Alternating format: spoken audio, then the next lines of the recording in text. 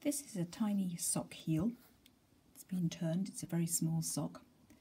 And we're going to look at the holes that appear on either side of a heel flap.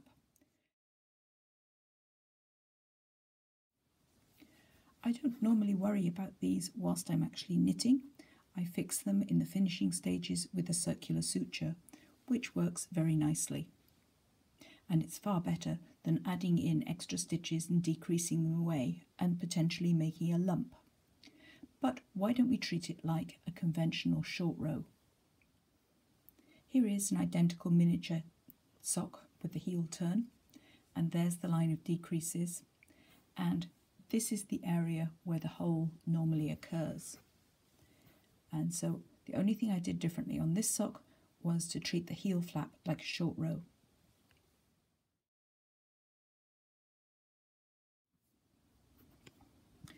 Going to imagine this to be the back of a sock and we're going to work the heel flap as far as these last two stitches. So I'm now knitting one quarter of the round past the centre back position.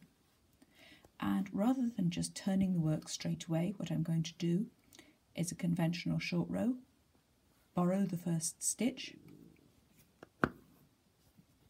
take the yarn between the needles, slip it back, and now I'm ready to turn and do my first row my heel flap.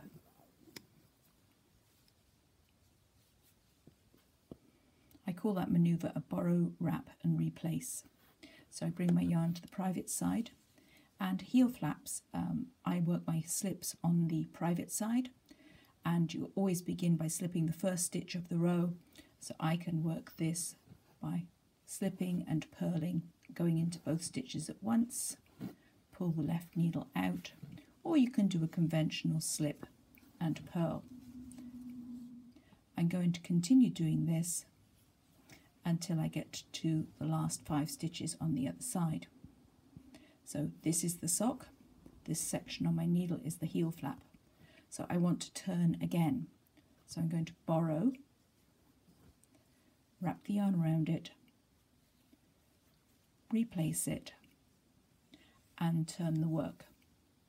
And because I've done my slips on the purl side row, I'm now going to just begin with the slip and knit the remaining stitches. I've now completed my heel flap and it's as long as it is now wide.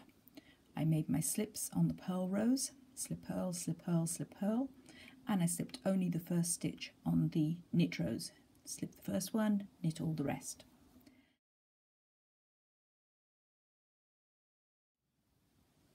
I've changed colours to indicate the new stitches and now I'm going to knit up stitches along the side of this heel flap. So I'm just going to use the edge of each stitch. That's the chain selvage. You've got one edge stitch for every two rows on your heel flap. And I'm going to lift up the side of that stitch and turn it so that as I knit it, it twists, which gives us a nice firm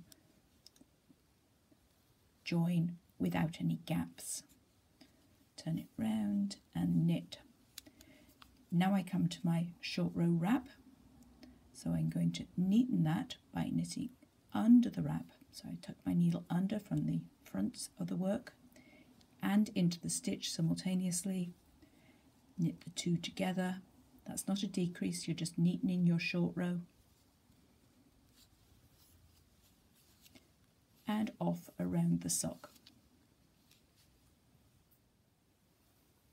You will then knit around the sock until you get to the second side of the heel flap. So we've gone across the instep.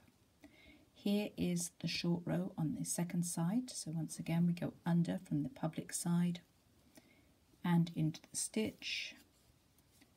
Knit the two pieces together.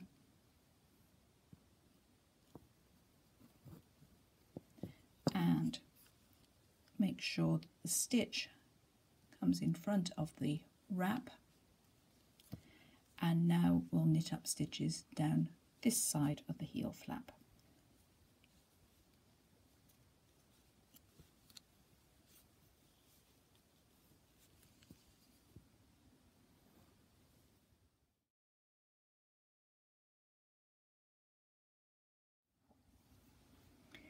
Here are the two identical socks. This one was done without any short row wraps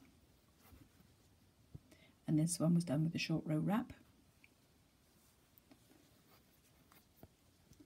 There's your short row wrap on this side and there is your back of a short row wrap on that side. Now these can be perfectly easily neatened with a circular suture and I'll cover that on a future video.